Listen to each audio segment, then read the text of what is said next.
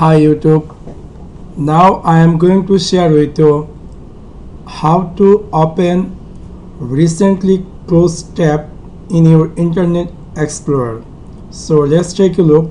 Suppose for example I will open google.com and then I will open yahoo.com and then I will open CNN official website so accidentally or somehow I want to close this tab I will close this tab and in this case if I want to back the same close tab in same place simply I will click this uh, icon or control T to open new tab.